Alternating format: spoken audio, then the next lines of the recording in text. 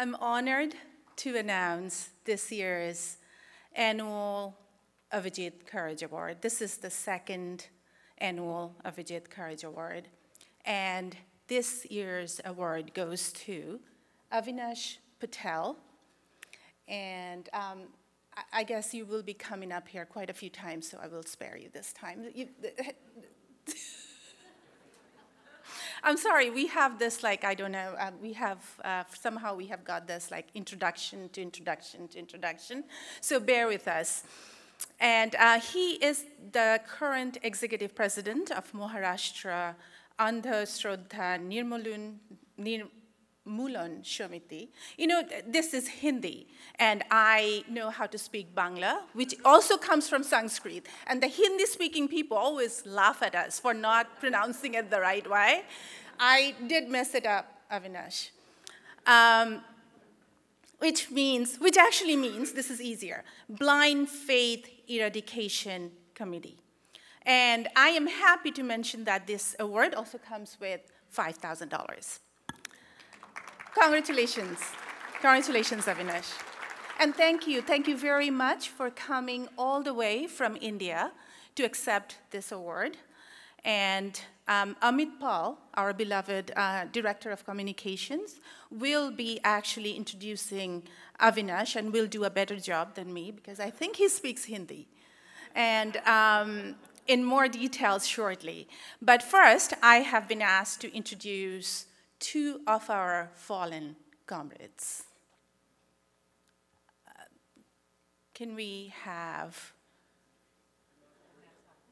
Oh, all right, okay. I thought we were going on both sides, but that's okay. Um, I actually knew one of them very well, Avijit Roy. I lived with him for 13 years. I worked with him. I enjoyed life with him until it ended very abruptly. And um, thanks to FFRF for starting this award since last year um, on his name. And the person, the other person, Dr. Narendra Dabholkar, who founded MANS in 1989, the organization uh, Avinash runs now, while I did not know him personally, but I have immense respect, Avijit and I both have immense respect for his work and the sacrifices he made for all of us. But both of them, both of them were killed for their work, for their writings, and for their belief, or maybe we should say for their non-belief. As the news clip says, Avijit loved to write. That was his passion. This was actually cause of our lot of our fights, but that's a different story for another day. And he he was a prolific writer. He wrote eight books, hundreds and hundreds of articles and blogs in such a short period of time. I think he was 43 when he died. His books extended in topics from like philosophy to science to literature. But in a press release, the Islamic militants who later marched with Al Qaeda of Indian subcontinent, mentioned that they targeted us, both of us, uh, Avijit and me, uh, for our writing, specifically for two of Avijit's recent books, and Virus of Faith and Social and Scientific Basis of Homosexuality. Many of you already know that we were attacked by these machete-wielding Islamic militants in a book fair when we were visiting our homeland for a book signing trip in 2015. Avijit died. Avijit, I'm very, sorry, I'm very confused with this. Um, Avijit died in the hospital and um, obviously, I survived. Uh, with four machete stabs on my head and a sliced off thumb and numerous wounds all over my body. The picture, I was actually expecting a picture. Uh, yes, okay. I'm sorry. I'm sorry. The picture on display, while graphic, we thought it is necessary to show because it gives a glimpse of the brutality we, the atheists, face all over the world. We talked about it. Uh, I think we'll just move back to the previous picture, the books that I, we had. Um, uh, so these are the books that I was mentioning that Avijit has written. He wrote eight books and edited two. And uh, the other two books, the pictures of the two books that we have, um, if we could have that, those are the two books, uh, The Virus of Faith and The Basis of Homosexuality, Scientific and Social Basis of Homosexuality, uh, were the reasons that they attacked us. After the attack on us, the Islamic militants vowed to kill one atheist blogger every month in Bangladesh, and they managed to do so. The impunity was so so high, the government just stayed quiet. They didn't say a thing because they thought it's, it will be politically murderous for them to even say that we have the right to live in the country. So the, the Islamists killed, managed to kill three other bloggers, and also they managed to kill the two publishers of those two books um, I had a picture, yeah, these, these two books. So they, they actually managed to hack the two of the publishers in their offices. One died, and the other one barely survived. This is the story of me and Avijit, and I know too much about it. Let me tell the story of Dr. Dabholkar before I get carried away, because Avinash is here, and uh, we are giving the prize to Avinash and their organization because of the sacrifices that their organization has made, and Dr. Dabholkar has given his life for it. Dr. Dabholkar decided to become a social worker after working as a medical doctor for 12 years in Maharashtra, in India. He founded MANS the, and campaigned against religious superstitions prevalent in India. He was the editor of the renowned Marathi Weekly, uh, and he fought against the godmen. You know, they are very big all over in India, who claim to perform miracles, medical miracles. He also relentlessly fought for the equality of Dalits, the untouchables, and against violence rooted in Hindu caste system. He received numerous threats, but as far as I know, he refused to take any police protection from the government. And he was gunned down and murdered on 20th of August, 2013. Let me read one of his quotes. Um, I think we had it. Um, we have a quote, yes. So let me read that quote for you, um, which is also on the screen. Sowing seeds of reason in the mind is not an easy job. However, reason, uttered repeatedly, does take you a step ahead. The utterance converts into a movement.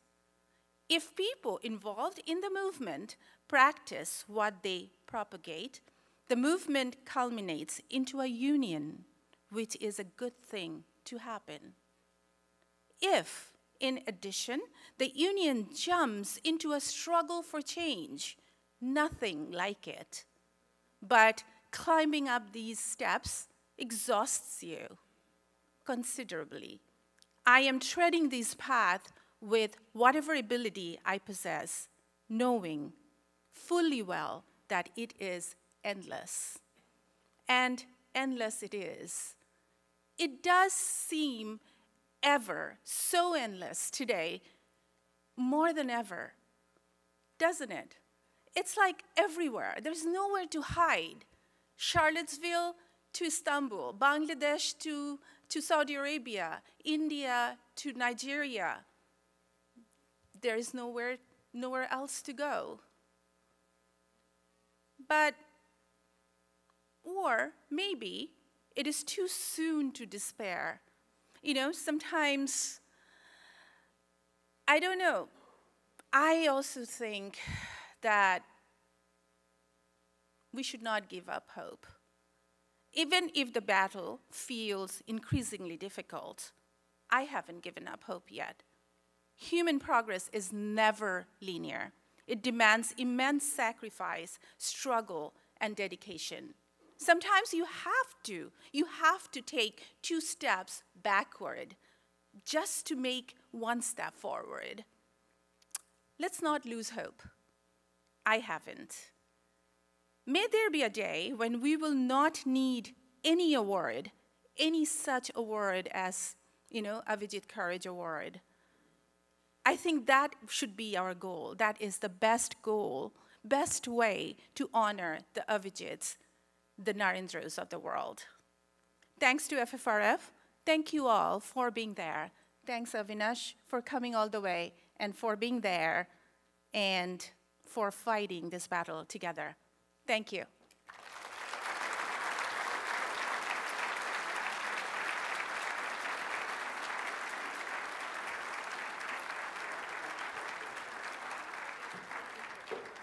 So just to give you a better idea of uh, Dr. Dabholkar, and especially of the willful way in which the Indian government has botched up uh, the investigation uh, into his uh, murder, his assassination, we're playing a short clip.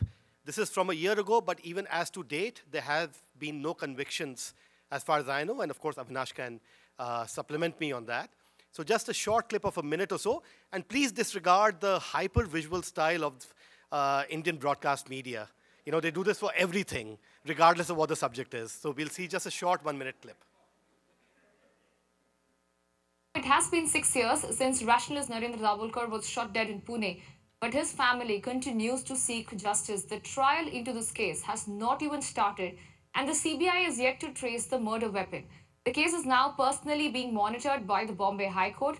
The family of Dr. Dabholkar has earlier filed an affidavit questioning the CBI's investigation, pointing out to several loopholes in the probe.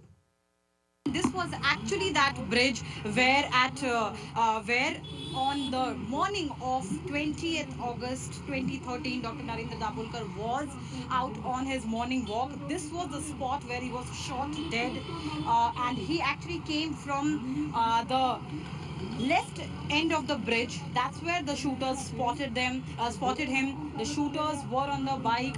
This was the end from where he was coming. The shooters spotted him. The shooters were on bike. And one by one both of them they uh, they fired rounds from their country made pistol which now according to cbi one of the accused has dismantled and thrown into asai creek and they're trying to find it.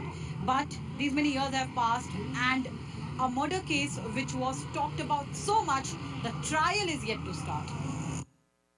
So you can see that. So I, I, stand corrected. This is from August 2019. I had another clip and I was getting a bit confused. So six years uh, later, this is the situation. Dr. Narendra Bolkar was the founder of the Maharashtra Andhashraddha Nirmoolan Samiti, or the uh, Committee for the, in Maharashtra for the Eradication of Superstitions, Superstitions and Blind Faith, killed on August 20, 2013. His sacrifice was not in vain. He was awarded one of India's highest civilian honors. Because of the pressure built um, due to his death, there was an uh, anti-superstition bill uh, passed at the state level.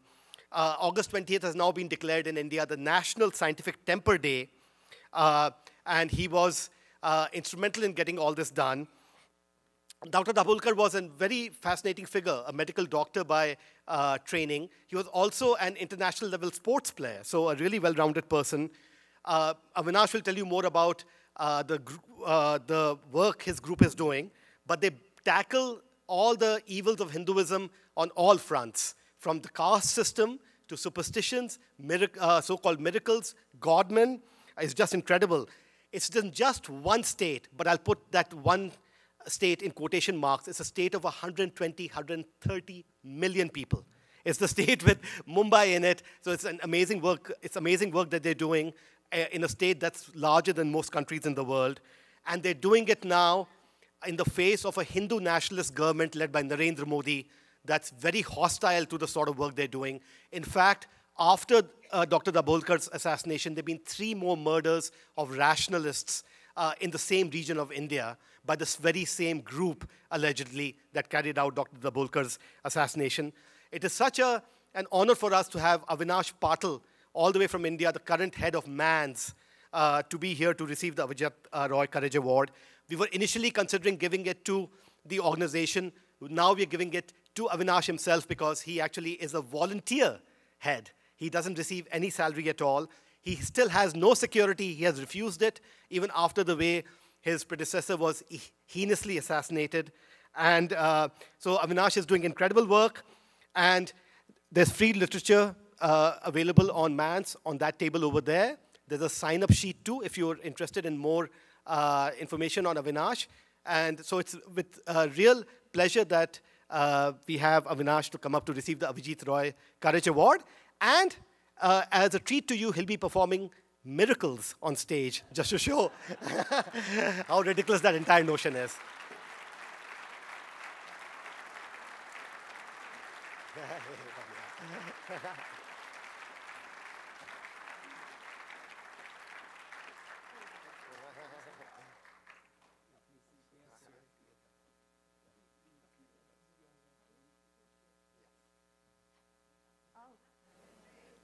I'm just uh, showing you the miracles uh, famous uh, by Satya Sai Baba. He's just showing this uh, hands like this, palming them, and taking golden ring, a golden hand from that. Huh? This is a plastic thumb here and in that I have taken this ring.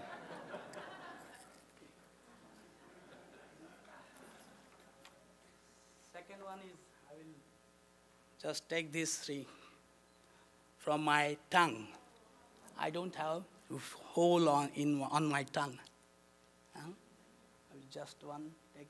If there is a blood from the my tongue, I will take uh, my handkerchief behind him.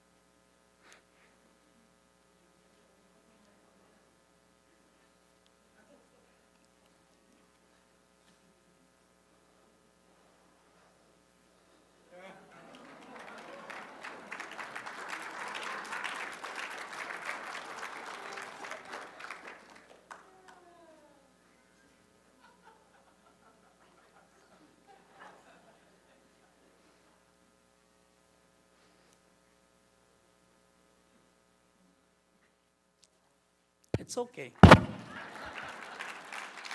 then I will show, first I will, I will show this, and second I have taken and take this one.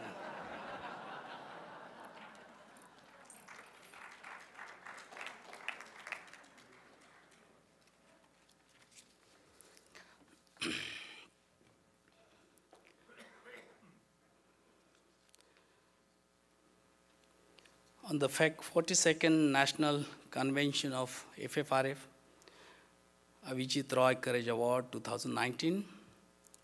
Dear colleagues, namaste again.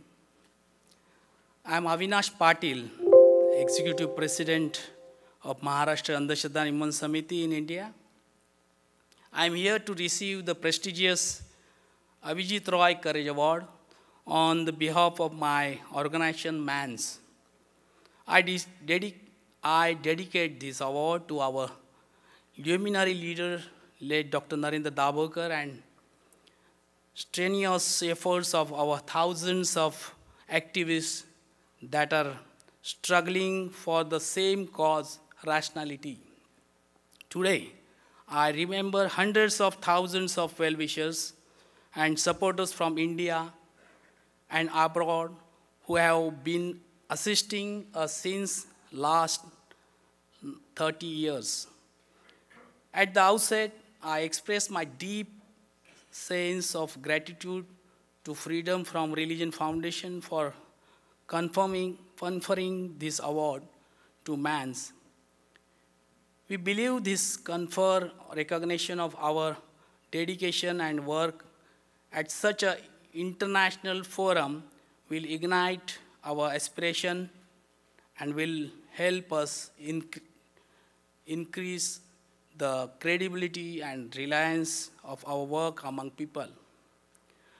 Two years before, Avijit Roy was hacked in Dhaka. Dr. Narendra Dabholkar was shot in Pune. Many freethinkers of this decade have been assassinated in the name of religion, traditions, and culture. During the decade, this tendency has become prevalent around the world, especially in developing countries. Further, painful is the attitude of the authorities, who in most cases are unsuccessful in arresting the assassins. The prevalent si- silence of the authorities and lack of political will to address these matters has driven the rise in intolerance and insecurity. The eradication of superstition in a society where it is used for socio political and economical gain of the few has become a hazardous task. The field demands a lot of patience and rationality. It also needs deep rooted courage to face the challenges of work that can literally take your life. An award entitled with the word courage becomes complementary to our work.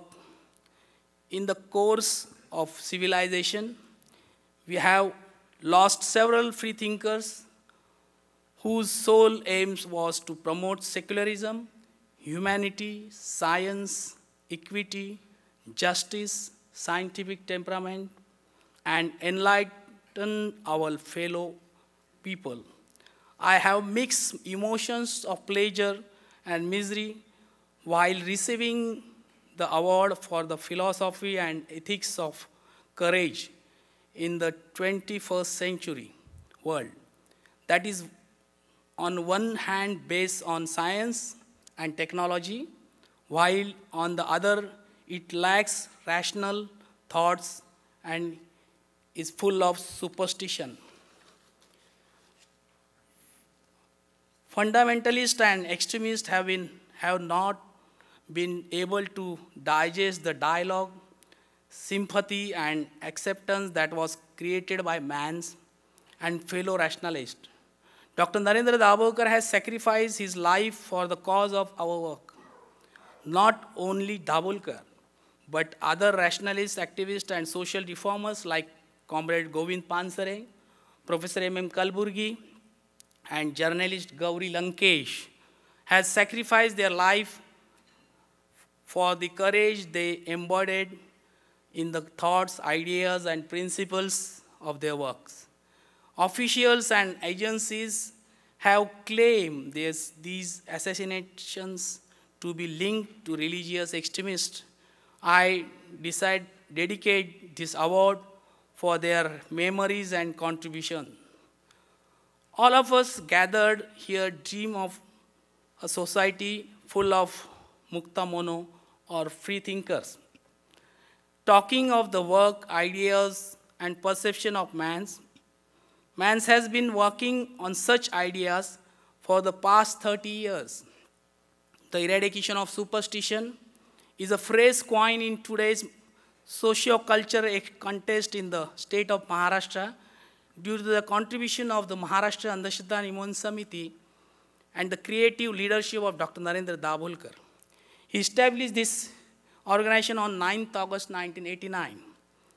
On 9th August 2019, To celebrate the 30 years of work, our work, we organized an international conference in Mumbai.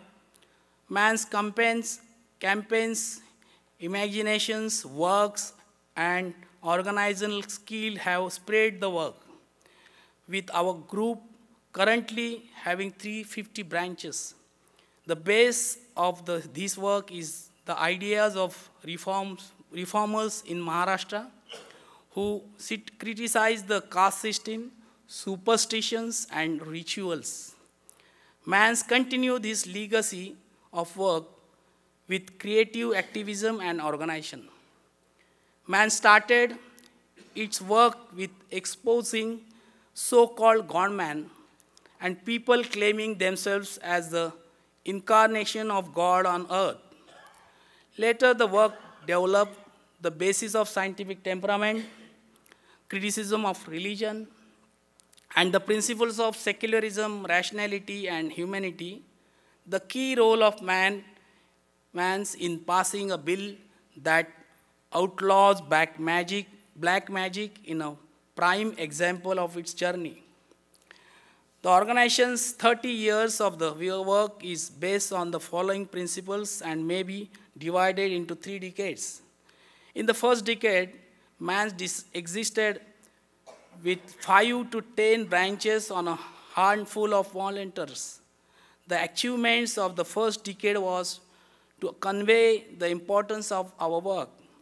Society accepted that there were superstitions and they must be eradicated.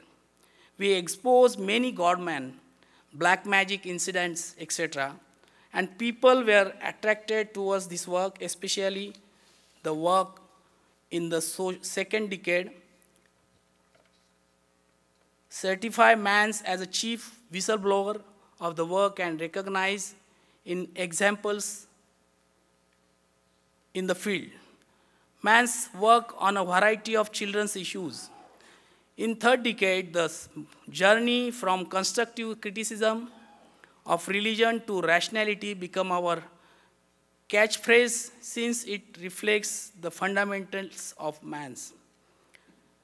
MANS has its commitment to two major aspects.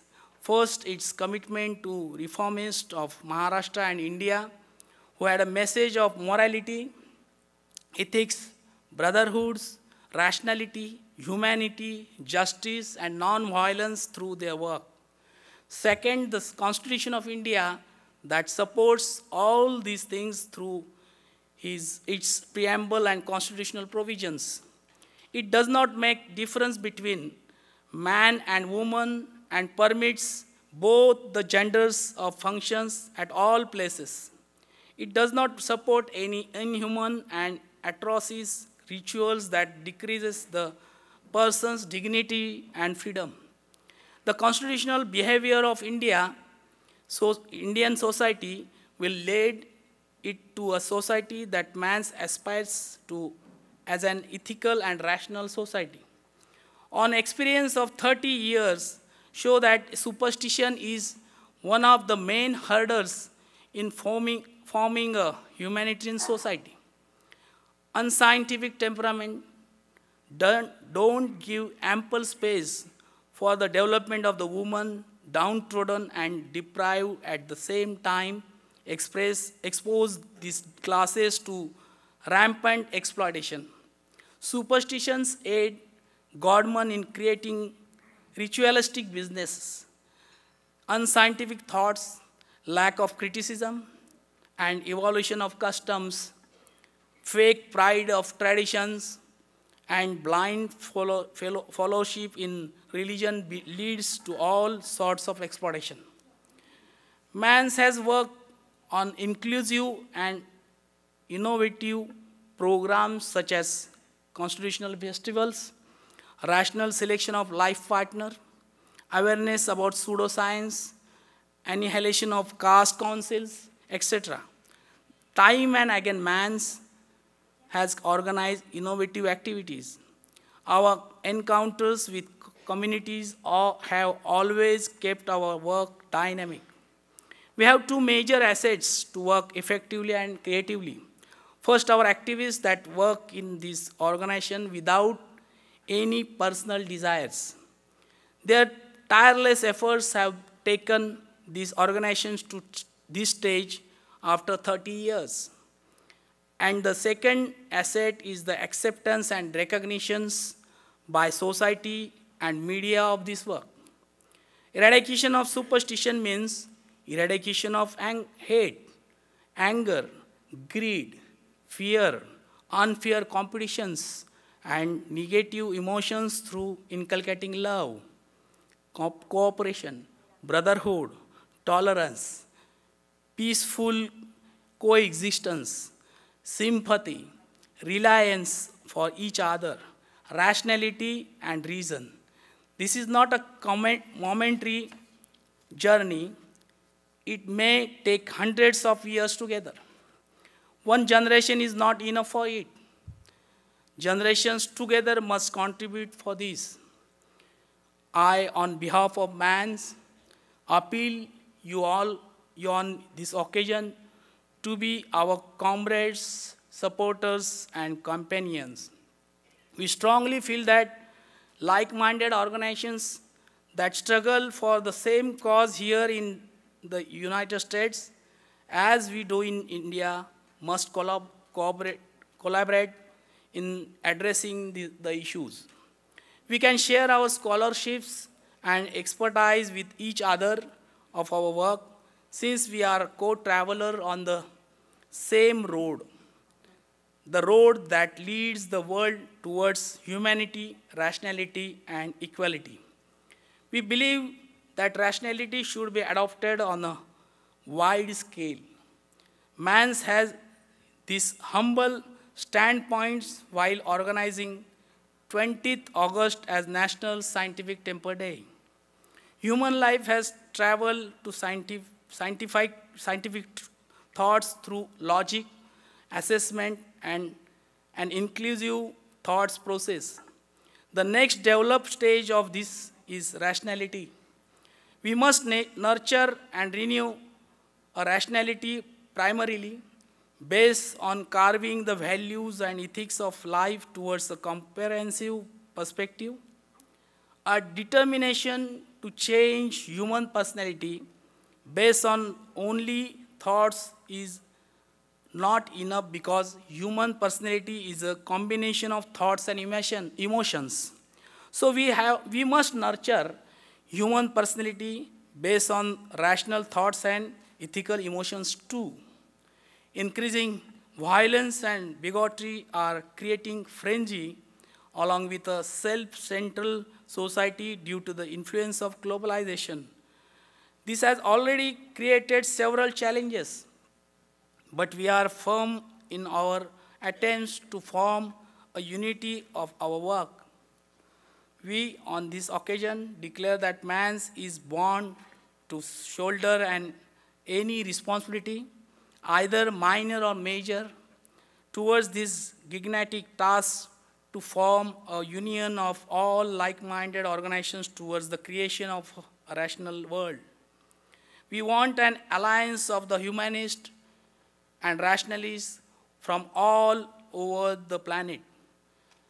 They should come together and travel hand in hand towards the purpose of creating a beautiful and flourishing world. Thank you.